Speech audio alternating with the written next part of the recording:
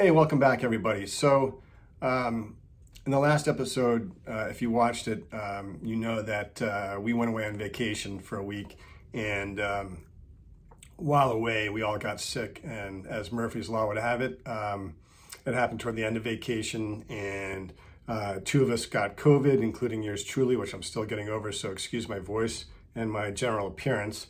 Um, so it was very disappointing to end the vacation that way. So I'm feeling a little cheesed off, a little cheated, a little salty, maybe a little spicy even. And I was uh, convalescing and looking through some of my old sailing magazines and came to a realization that uh, I'm sure some of you have come to as well. And that is modern boats are just ugly. Uh, they've got no soul. So today's episode, I am going to compare classic plastic boats versus the new modern classic and prove to you that not only uh, are the older boats uh, probably cooler, uh, they may also be a better investment than the new modern classic, the new modern plastic. Uh, so um, we're going to go through some numbers, we're going to go through some pictures, and I'm going to try to make my case. And just please remember, this is just my opinion. So if you're saving up for that new plastic boat, the new modern one, there, I get it. I get the appeal, uh, just not for me. In my opinion, they have no soul. And soul is important when you're buying a boat. Soul is important when you own a boat because you want to love your boat, you want to spend the time on it that you need to, and you want to want to spend money on it like you're going to need to. Um, so what I'm going to do now is I'm going to show you some pictures of some modern sailboats, and then I'm going to show you some pictures of some classic plastic sailboats. And you'll see from these modern sailboats, they basically all look alike. These are all different manufacturers. Uh, they all have their tinted porpoise peeper windows in the top sides. They all have their bowsprits. They all have their dual helms, which is just absurd, but I get it because they're so freaking wide you need them. Uh, but it's not like this is the America's Cup or some around the world race. You don't really need it. Um, so maybe designers could get back on the path and, and maybe make a single helm classic looking boat. I don't know.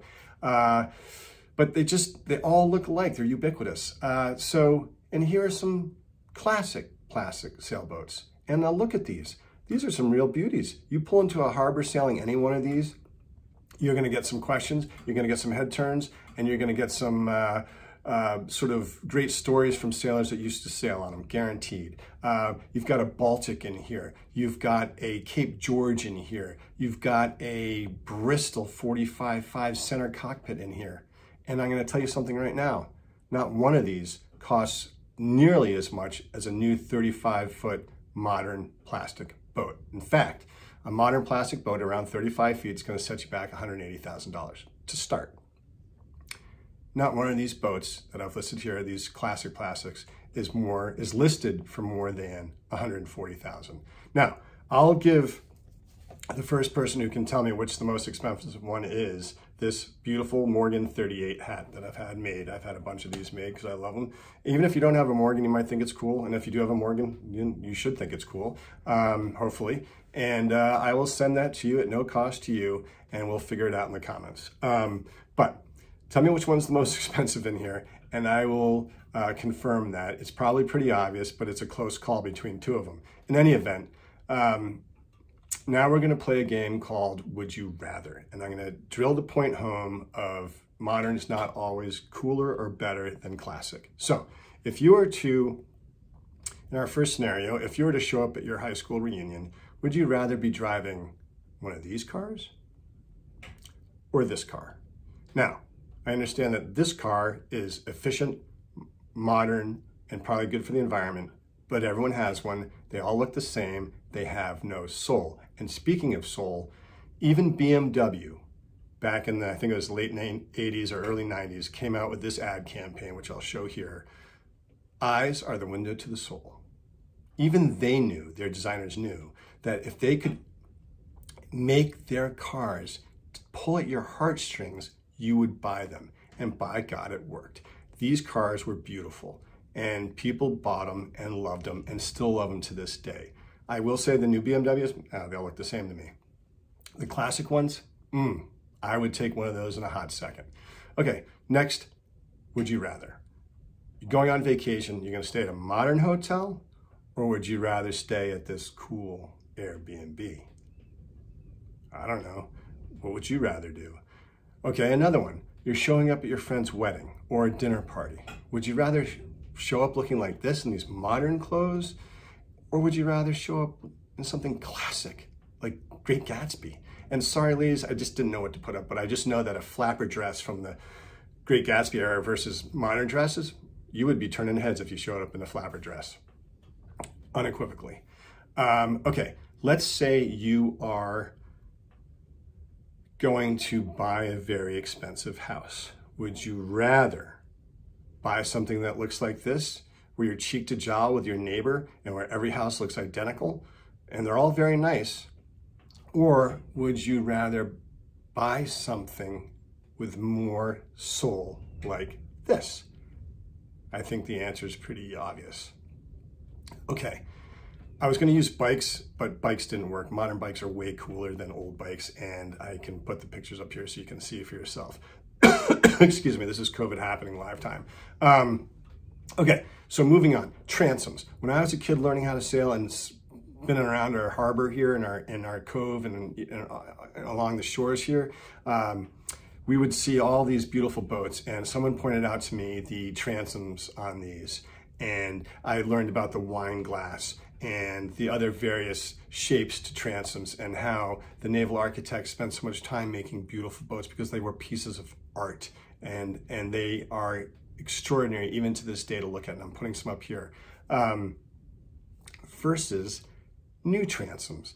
New transoms on all these boats look exactly the same. They look like they've been cut off. They look like a slice of watermelon from the backside, or worse yet, they look like the open mouth emoji, like this. And this one's modified because I modified it to look just like the transom of a boat. And if you look at it hard enough and look at it as if you're looking at it from boat from behind, you can see the two eyebrows look like helms, dual helms. Uh, they're hideous. I don't like it. And when they're open, it's just like their guts are pouring out. You can see their tonsils or something. Um, not a fan. And that moves us to the interiors. The interiors of these boats, they're all the same. And I feel like, and people are going to hate me for this, but I feel like the yachting world stole a designer from the RV motorhome world. RVs and motorhomes are the prairie schooners on land. They're prairie schooners, that's what I call them. And they too all look alike. And they're as expensive as a boat for sure. Um, here are a bunch of pictures of various manufactured motorhomes and they all look identical. And then you look at their interiors, they also look the same. And funnily enough, excuse me, they look like the interiors of modern sailboats. And you know what? You get a splash of salt water down on one of these interiors, it's gonna de delaminate in a hot second. Uh, they don't look like they're well put together. The, it all looks sort of cheap and IKEA-ish. Uh, no offense, IKEA. Um, but they don't look like they're made to withstand the test of time and be rugged. Conversely, my 43-year-old boat has a dark wood interior and it has stood the test of time. Water, no water, sun, no sun, it's still there, same wood, and it's gonna last forever still. Um, I just don't find the appeal of these modern interiors. So the last thing I wanna say about the modern boats before we get to the finances is uh, on spec sheets on sailboatdata.com, they look like they're gonna be lightning fast. Not necessarily so. I've raced a couple times against an Oceanis 35, late model 2016, something like that. Um, porpoise peeper windows, looks like a hotel, kind of sails like a hotel. I was, we did circles around it in a 1985 Sabre 36 and the spec sheet on, on the Sabre 36 does not come close to that of the Oceanis 35. Yet on the water and the proving grounds, no contest. In any event, no offense, uh, just my opinion, and I just feel like the designers have lost their way and they all look the same. Now, cost. Okay, quick finance lesson here. If you own a home, you're gonna understand this. If not, then you're gonna pick up real fast. So, um, if you finance a $180,000 boat, and let's say you finance all 180,000 just for illustration purposes, because your boat's probably gonna cost more than that. You finance that at 20 years, 5% interest rate, because you can finance a boat for 20 years. Uh, your monthly payment's gonna be 1,200 bucks, 1,200 bucks a month. So if you're not using that boat, you're throwing 1,200 bucks out the window, um, or out your port, your porpoise peeping port. Uh, now, over the life of that loan, 20 years, if you keep the boat that long, you're going to pay $105,000 in interest payments. $105,000 in interest. I could buy a whole nother boat. Uh, so give that some thought. And if you're stretching to buy that boat, boats cost a lot of money because not only is it the boat, you got to buy the dinghy, you got to buy the motor for that dinghy, you got to buy the mooring, you got to buy a slip, you got to buy a place to store it, you got to buy insurance, um, you got to pay to haul it and put it back in the water, maintenance, fuel. Um, excuse me. Ah, COVID. Anyway, uh, versus, for example, what we did. Now, again, there are three of us who bought this boat. Different, not for everybody, but it does work and it can work if you do the numbers and figure it out and have some people you think you can work with. Our boat was listed at $35,000. We ended up paying $28,500 for it. We did finance $18,500 at seven years on a commercial loan, uh, which worked out to be a monthly payment of 285, which means for each of us, it was less than $100 a month, which is less than my phone bill. Uh, not a big financial burden. Um, we could have paid cash, but we wanted to keep dry powder in case we wanted to make some upgrades, which we did. So we paid $28,500 for the boat. We paid 3,600 for a new jib. We paid $2,600 for a parking pad to store it in my backyard. We paid um, $1,600 both to put it in and take it out, so total $1,600 for the season. We paid $2,500 for some new cushions in the V-berth. We went to Hamilton on a shopping spree and spent $900. We bought a used dinghy for 1200 We had an outboard. Um, we paid 450 for the mooring, 250 for the dinghy dock, uh, 150 to have the rig tuned, and paid about $1,100 for the annual insurance.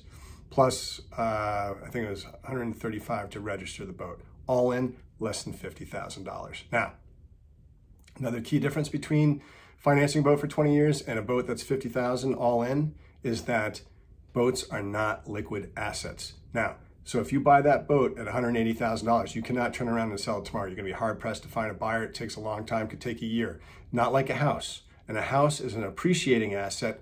A boat is a depreciating asset, just like a car. As soon as you drive your Porsche off the lot, it loses value. As soon as you drive your brand new boat off the dock, it loses value. It's never gonna be more worth more than it was the day you bought it. Most of the time. There are exceptions to every rule, I get it.